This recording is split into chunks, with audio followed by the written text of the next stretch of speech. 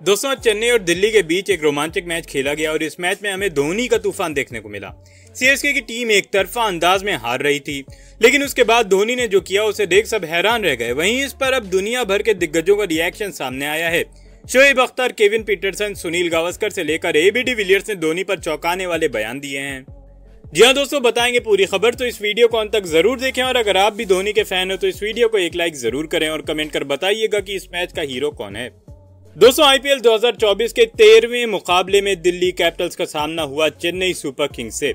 विशाखापट्टनम में खेले गए इस मैच में दिल्ली कैपिटल्स ने चेन्नई सुपर किंग्स को 20 रनों से हराया। दिल्ली ने टॉस जीतकर पहले बल्लेबाजी करने का निर्णय लिया। पहले बैटिंग करते हुए दिल्ली ने 20 ओवर में पाँच विकेट खोकर एक सौ इक्यानवे रन बनाए। डेविड वार्नर और ऋषभ पंत ने फिफ्टी भी जड़ी। जवाब में चेन्नई सुपर किंग्स निर्धारित ओवरों में छह विकेट खोकर एक सौ इकहत्तर रन ही बना पाई। भले ही चेन्नई ये मैच हार गई लेकिन चेन्नई के फैंस एक बात से खुश हैं और वो है धोनी की बल्लेबाजी। आज धोनी ने कमाल ही कर दिया। उन्होंने सिर्फ़ 16 गेंदों में 37 रनों की एक तूफानी पारी खेली। हालाँकि उनकी पारी काम नहीं आई। धोनी तब बल्लेबाजी करने आए जब चेन्नई को जीत के लिए 23 गेंदों में बहत्तर रनों की ज़रूरत थी, जो कि नामुमकिन लग रहा था। लेकिन धोनी ने आते ही चौका जड़ दिया। अगली गेंद पर ज़रूर खलील अहमद ने उनका कैच ड्रॉप किया। लेकिन धोनी ने इसका पूरा फ़ायदा उठाया। इसके बाद हमें धोनी की ताबड़तोड़ बल्लेबाजी देखने को मिली। इसी ओवर में उन्होंने और दो चौके लगाए। अठारहवें ओवर में उन्होंने खलील अहमद को एक छक्का लगाया। अब यहाँ पर सीएसके को जीत की उम्मीद आ रही थी। लेकिन 19वें ओवर में मुकेश कुमार ने शानदार गेंदबाजी की और सिर्फ़ पाँच रन ही दिए। आखिरी ओवर में सीएसके को इकतालीस रनों की ज़रूरत थी। जीत तो मुश्किल थी लेकिन धोनी ने अपना पूरा दम लगा दिया। इस ओवर में उन्होंने एनरिक नॉर्किया को दो चौके और दो छक्के जड़े और ओवर से 20 रन ठोक दिए। 16 गेंदों में 37 रनों की पारी में चार चौके और तीन छक्के लगाए।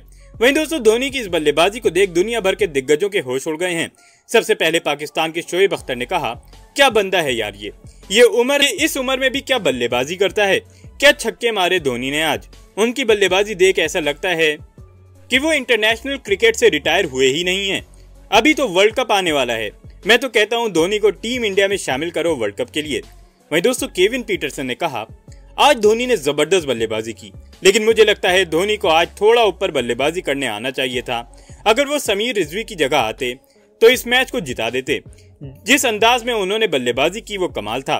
धोनी को छक्के लगाते हुए तो बहुत बार देखा है, लेकिन जो आज उन्होंने कवर के ऊपर से छक्का लगाया, उसने मेरे होश उड़ा दिए। वहीं सुनील गावस्कर ने कहा धोनी को ऐसे ही फिनिशर नहीं कहा जाता है।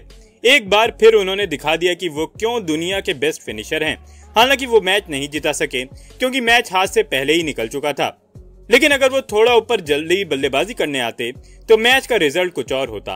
वहीं साउथ अफ्रीका के ए एबी डिविलियर्स ने कहा, धोनी ने एनरिक नॉर्किया को आखिरी ओवर में जो धोया, वो बताता है कि धोनी में अब भी कितनी क्रिकेट बची है।